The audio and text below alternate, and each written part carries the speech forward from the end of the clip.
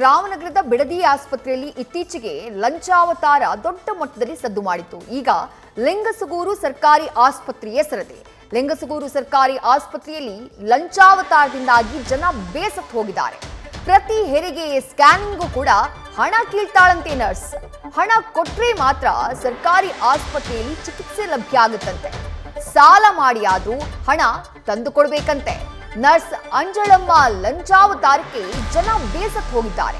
ಹಗಲು ದರೋಡೆ ನಡೆದ್ರೂ ಕೂಡ ಆರೋಗ್ಯ ಇಲಾಖೆ ಕಣ್ಮುಚ್ಚಿಕೊಳ್ತಿದೆ ಅಂತ ಹೇಳಿ ಜನ ಆಕ್ರೋಶವನ್ನ ವ್ಯಕ್ತಪಡಿಸಿದ್ದಾರೆ ರಾಯಚೂರು ಜಿಲ್ಲೆಯ ಲಿಂಗಸಗೂರು ತಾಲೂಕಿನ ಸರ್ಕಾರಿ ಆಸ್ಪತ್ರೆಯಲ್ಲಿ ಈ ರೀತಿಯ ಲಂಚಾವತಾರ ನಡೀತಾ ಇರುವುದು ನರ್ಸ್ ಅಂಜಳಮ್ಮನಿಂದ ಈ ರೀತಿ ಲಂಚಕ್ಕೆ ಬೇಡಿಕೆಯನ್ನ ಇಡ್ಲಾಗ್ತಿದೆಯಂತೆ. ಬರ್ಬೇಡ್ರಿ. ನಡ್ರಿ ನಡ್ರಿ. ಎಲ್ಲ ನೋಡ್ರಿ ನೀ ಬರ ಮೊಳ. ಇವರು ಸ್ವಂತ ಸೂಪರ್ ಮಾರ್ಕೆಟ್ ಮಾಡಿ ತಿಂಗಳಿಗೆ ಹತ್ತು ಲಕ್ಷ ಸಂಪಾದನೆ ಮಾಡ್ತಾರೆ ಹಾ ದುಡ್ಡಿದ್ದವ್ರಿಗೆ ಮಾತ್ರ ಅಲ್ಲ ನೀವು ಮಾಡ್ಬೋದು. ಫ್ರೀಡಮ್ ಅನ್ನ ಈಗಲೇ ಡೌನ್ಲೋಡ್ ಮಾಡಿ. ಗುಡಿಗೆಲ್ಲ ಬಿಡ್ತಾರೆ ಹತ್ತು ಗಂಟೆಗೆ. ಅವಾಗ ಹೇಳ್ತೀನಿ ಸರ್ ಇಷ್ಟು ಕೊಟ್ರದ್ ಮನೇದು ಬಂದು ಕೊಟ್ಬಿಡ್ತೀನಿ. ಸರ್ ಐದು ಸಾವಿರ ನಾಲ್ಕು ಐದು ಆರು ಏಳು ಎಂಟು ಒಂಬತ್ತು ಹತ್ತು ಐದು ಸಾವಿರ ಕೊಟ್ಟಲ್ವಾ ಹಾಂ? ಹಾಂ ಸರಿ.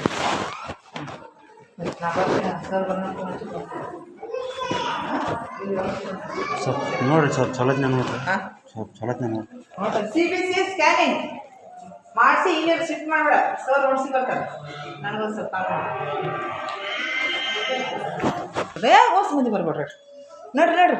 ಎಲ್ಲ ನೋಡ್ರಿ ನೀ ಬರ ಮೊಳ. ಇನ್ನ ಸರ್ ಬಂದು ನಂಜಿದ ಗುಡಿಗೆಲ್ಲ ಬಿಡ್ತಾರೆ ಹತ್ತು ಗಂಟೆಗೆ ಅವಾಗ ಹೇಳ್ತೀನಿ ಸರ್ ಇಷ್ಟು ಕೊಟ್ಟರೆ ಮನೇದು ಬಂದು ಕೊಟ್ಬಿಡ್ತೀನಿ ಸರ್ ಐದು ಸಾವಿರ ನಾಲ್ಕು ಐದು ಆರು ಏಳು ಎಂಟು ಒಂಬತ್ತು ಹತ್ತು ಐದು ಸಾವಿರ ಕೊಟ್ಟಲ್ವಾ ಹಾಂ ಹಾಂ ಸರಿ ಸರ್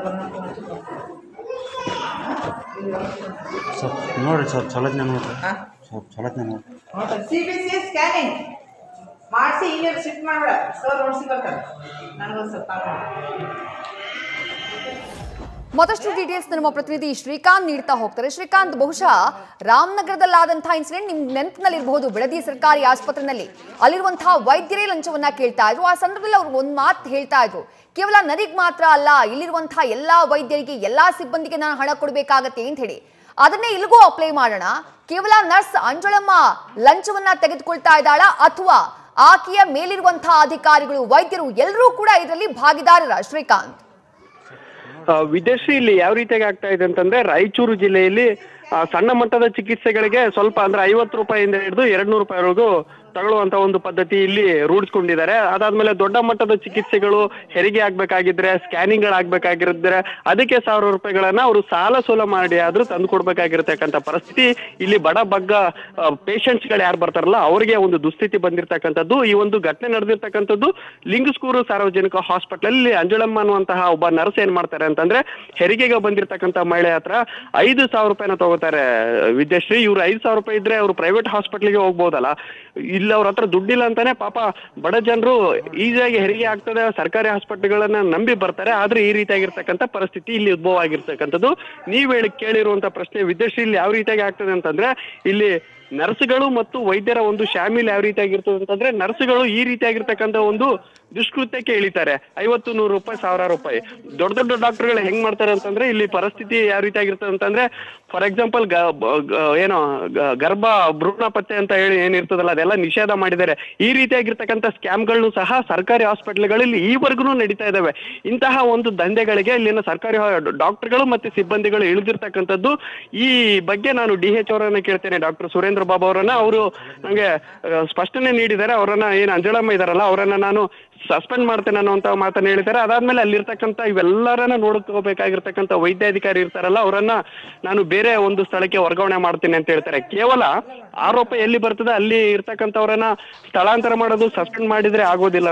ವಿದೇಶಿ ಇವರನ್ನ ಒಂದು ತಕ್ಕ ಪಾಠ ಕಲಿಸ್ಬೇಕು. ಇವರು ಆಫೀಸರ್ಸ್ಗಳು ಇರ್ತಾರಲ್ಲ ಡಿ ಗಳು, ದೊಡ್ಡ ದೊಡ್ಡ ಮಟ್ಟದ ಅಧಿಕಾರಿಗಳು, ಅವರು ಗ್ರೌಂಡ್ ಲೆವೆಲ್ ಅಲ್ಲಿ ಇಳಿದು ಒಂದು ಹಾಸ್ಪಿಟಲ್ಗಳಿಗೆ ಸಡನ್ ವಿಸಿಟ್ ಮಾಡೋದಾಗಿರ್ಬೋದು, ಅಥವಾ ರೋಗಿಗಳನ್ನ ಒಂದು ಅಲ್ಲೇ ಸ್ಪಾಟ್ ಅಲ್ಲಿ ವಿಸಿಟ್ ಮಾಡಿ ಅವರನ್ನ ಕೇಳೋದಾಗಿರ್ಬೋದು ಇಂಥ ಒಂದು ಕೆಲಸಗಳನ್ನ ಮಾಡೋದಾದ್ರೆ ಮಾತ್ರ ಬಡ ರೋಗಿಗಳಿಗೆ ಒಂದು ಸೂಕ್ತ ಚಿಕಿತ್ಸೆ ಸರ್ಕಾರಿ ಹಾಸ್ಪಿಟಲ್ಗಳಲ್ಲಿ ಸಿಗ್ತದ. ಈಗ ಒಂದು ಲಿಂಗ್ಸ್ಕೂರ್ ತಾಲೂಕಲ್ಲಿ ಆಗಿರ್ತಕ್ಕಂಥ ಘಟನೆ ಎಲ್ಲಾ ಹಾಸ್ಪಿಟಲ್ಗಳಲ್ಲೂ ಇದೇ ರೀತಿಯಾಗಿರ್ತಕ್ಕಂಥದ್ದು ರೊಟೀನ್ ಆಗ್ತದೆ.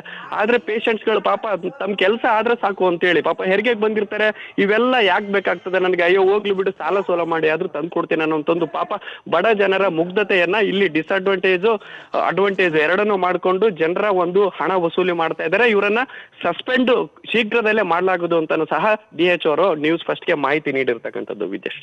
Thank you Srikanth. ತಮ್ಮಲ್ಲ ಡೀಟೇಲ್ಸ್ಗೆ ಒಂಬತ್ತು ಹತ್ತು ಐದು ಸಾವಿರ ಕೊಟ್ಟಾರ ನೋಡ್ರಿ ಬೇ ಹೊಸ ಮಂದಿ ಬರ್ಬೇಡ್ರಿ ನೋಡ್ರಿ. ನೋಡ್ರಿ ಎಲ್ಲ ನೋಡ್ರಿ ನೀ ಬರ ಮೊಳ.